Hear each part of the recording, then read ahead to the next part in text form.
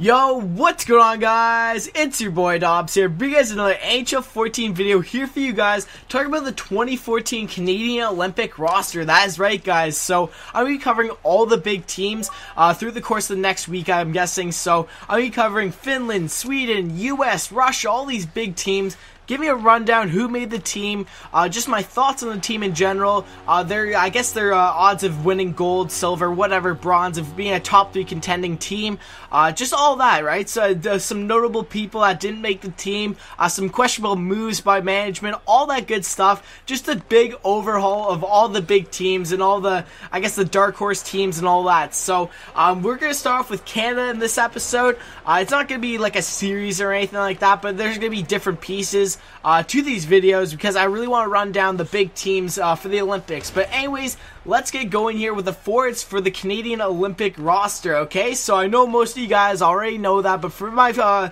for my subscribers that don't, I'll be running through it. So.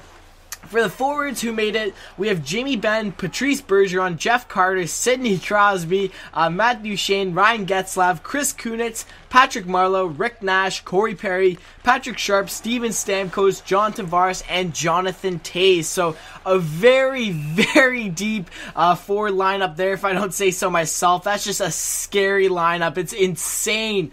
I mean, you got everything. You got the size, you got the grit, you got the skill. I mean, I'm very excited to see this team play. Uh, a few notable um, I guess, picks, if you will. Uh, people are debating about Chris Kunitz making the team, Jeff Carter, um, even uh, like Patrick Sharp. I mean, I've heard a couple people uh, talk about Patrick Sharp. I personally think he deserves to make the team. That's a great pick by management. Uh, that's so I kind of find that stupid, but I could see the argument for Chris Kunitz and Jeff Carter. So, uh, what I want to talk about for Kunitz first is uh, the whole chemistry with Crosby. Personally, I can understand where management's coming from with that move because I mean, it's one of the be- probably the best line in NHL. Really, I mean, it's crazy. So, I mean, why not have to have Crosby's partner in crime, basically, right? They're just tearing up the NHL. I can see why management picked Chris Kunitz. He is a good player. Don't get me wrong, but I just think that other players can play with Crosby. I just don't buy the whole chemistry thing. I know they're playing it safe, which it does make sense from a management standpoint. Uh, but coming from like a fan standpoint, I just think anyone can play with Crosby. Let's be real, right? I mean, that's why I think uh, Giroux should have made it over Kunitz or something like that. It just, it just dumbfounds me how Giroux doesn't make the team. It's crazy. He's been tearing it up lately. Considering he hasn't scored in like his uh, in the beginning of the season was the first ten or first fifteen games. He was on a huge uh, like uh, scoreless drought, like completely. And now that he's picked up to like 38 points in like uh, I can't remember how many games, but he's close to a point a game player. That's just insane. He's been doing so well for the Flyers. He's basically turned them around. It's crazy. Him and Voracek have just been doing work. So it's just kind of it's weird to see but I can understand once again from a management standpoint why they would pick Kunitz, but I just think Giroux would be a way better fit in my opinion. You could even play Giroux with Duchene. I mean, if, if I can't remember what tournament it was, uh, but Giroux and Duchene absolutely teared it up. They had like something like 12 goals, 10 goals or something like that, maybe even more in a limited amount of games. I can't remember what tournament it was, so leave a comment down below if you guys remember that, but they were crazy together. I mean, Giroux's uh, versatility as well. He can play center, you can play the wing. I uh, most likely wouldn't play center on this team, uh, but I mean, you can put him on the right wing, right? So, I mean, his versatility is there if you need it, and he's just been tearing it up. So, that's why I think it was a huge upset for Giroux. I really do feel bad about him, and uh, hopefully he can bite him in the ass. I mean, it proves Yzerman wrong, right? I mean, it's just good to see that gives him, like, the motivation, right? So, that's good to see for Giroux's standpoint, but it really sucks that he didn't make the team. And um, another uh, player I want to mention is Jeff Carter. A lot of people are bringing up Jeff Carter's name, but uh, personally, I'm fine with this pick.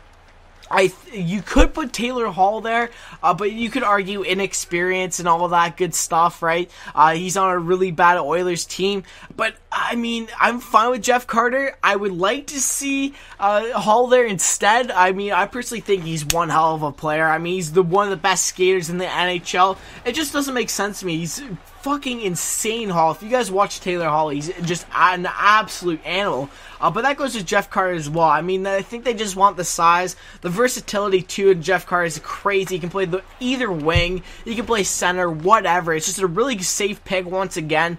Uh, but I think other players like Taylor Hall should have took uh, Jeff Carter's spot, but that's just my opinion personally. Let me know in the comments what you guys think about that pick. Uh, but once again, it's just a safe pick by management. So other than those two guys, I think it's a really skilled and a really gritty if they need to. I mean, with size too. Some of these players are like six foot four, like Rick Nash. You know, Ryan Getzlaf is like six five or something like that. So it's pretty crazy. They got uh, all the skill in the world. They got the grit. They can do whatever they want. They're just gonna own the ice. I love it. So I'm very happy with the forwards group. But there are some names uh, that I think they. Um, that should be the team instead. And like even Martin St. Louis, if you're gonna pair Kunitz with Crosby, why not St. Louis with Stamkos, right? It just doesn't make sense. But um, in the fact that Yzerman was the one picking, it just it's really weird. But other than that, a very solid forward group, if I would say so myself. Now on to defense, okay? So we got Jay Bouwmeester, Drew Doughty, Dan Hamhuis, Duncan Keith, Alex Pietrangelo, PK Subban, Marc-Edouard Vlasic, and Shea Weber. So I'm actually pretty happy with this defensive core. I mean, Babcock really wanted the left-right thing. If you guys don't know what I'm talking about, like the right uh, hand D-man on the right side, obviously, and the left-hand D-man on the left side. Uh, I think that's just a huge issue in Detroit itself. I mean, they have all left-hand defensemen, and they've been struggling as of late. So I think Babcock got his wish with a left-right deal. So uh, just a rundown of it. Um, I think it's a really solid group. I mean, there are some notable people that didn't make the uh, defensive core. I mean, Brent Seabrook was an absolute no-brainer for me. I mean, honestly, if you could have you have the, your left, right, and um, uh, what's his name, Duncan Keith. I can't believe I forgot that for a second. You got your left, right, and Duncan Keith and Seabrook. It's just crazy. I mean, I, I mean, he's not the greatest skater. I understand that, but I mean, the bigger ice isn't that much bigger. Like I know it's a huge factor, but I mean the the chemistry with um Keith and Seabrook is second to none. It's insane, right? I mean Duncan Keith is arguably having one of his best seasons of his career. Uh, he's like nominated. He's gonna be nominated for the Norris Trophy without a doubt. I'd be surprised if someone tries to take it from him, but I mean, he's gonna be he's a Norris Trophy winner already, and I think that um, Seabrook puts him in his happy place. That uh, happy place. I can't believe I messed up there, uh, but in his happy place, right? So I mean, he'll produce. Seabrook has got his back. I just think it's a great one-two pairing, and it was a no-brainer for me. But um, I think players like uh, Dan Hamhuis took over, so uh, and Marc-Edouard Vlasic. I know Marc-Edouard Vlasic is uh, actually a, like a really good defenseman. Surprisingly, I've watched a couple San Jose games. Uh, he he pulls his weight. He's a pretty good D man. Don't get me wrong, but um, he's just uh, very underrated, and I think a lot of people are arguing, oh, so and so should have made it over him. What is this? This is crazy. This is craziness. But I think Vlasic is a pretty safe pick, honestly. He's been on a good San Jose team. Uh, he's played his role very well, and um, he got some grit too. So I mean, he's a good bottom six defenseman. I can't see him playing them on the top four or anything like that, but he may even be a scratch. Who knows? Uh, so I think that's a pretty good pick. Uh, but once again, I just it just dumbfounds me how Seabrook doesn't make it. It's crazy, but um, I got my wish in PK Subban making the team. A lot of people are debating, oh, he's not going to make it because of attitude issues and stuff like that. Okay, this is the unbiased in me coming right now. I absolutely can't stand Montreal, okay? I cannot stand them. But PK Subban is one hell of a D-man. He's the Norris, he's the reigning Norris Trophy winner. It's a no-brainer for him uh, to make this team. If they didn't, I would have been absolutely pissed. I would have been so mad. Um, I have so much respect for Subban, uh, but I, I love Subban. I love Price. Everyone else on the uh, Canadiens, not so much. But I've gained so much respect for PK Subban. He's such a nice guy off the ice too. Like he just just has everything. He's got the whole skill set. He's a fast D man. He can provide anything. He can play a solid two way game and can provide the offense when it's needed. Uh, it's just a lock for me. I thought he was a lock, but just this fact that uh, his name was in uh, contention for not even making the team was crazy. So, but um, aside from that, I think it's a really solid uh, defensive core. I really like Drew Doughty there. Drew Doughty and Shea Weber um, were locks for me from the start, so I really like seeing them there. Uh, Alex Pietrangelo as well, one of the best D men in the league. Uh, it's just crazy, six foot three, like 200 pounds or something like that, right? So um, he's a very skilled and really gifted uh, D man there. Uh, Dan Hamhuis is another one. People are like, oh, how is did Dan Hamhuis make the team and uh, Brent Seabrook didn't? I've watched uh, a fair share of uh, Canucks games as well, and uh, at the start of the season, Hamhuis was god awful. Like he was really, really bad. Uh, but now that he's picked up his game, he made himself, uh, I guess, in contention to making the team. And what do you know? He made the team. So I mean, if he's on a hot streak now, can keep it up, I'm very fine with the pick. But I mean, players like Brent Seabrook, I don't know. But other than that, I think it's a very solid defensive core, and uh, they can just do it all. They can provide the offense. They can provide the grit. They can shut down the other team's uh, top players with like players like Shea Weber, Duncan Keith, all those players. Um, it's just gonna be insane. So very very deep core for Canada this year. I'm very surprised. So uh, it's good to see. And uh, I shouldn't say surprised. I mean the Canadians have unreal players, but it's just really good picks and a very nice management uh, from Yzerman. But anyways, on to the goaltenders. So we have Roberto Luongo, Carey Price, and Mike Smith. I thought um, this these were going to be the goalies from the start. I thought uh, Mike Smith is uh, he's played mediocre this season. He hasn't done anything spectacular.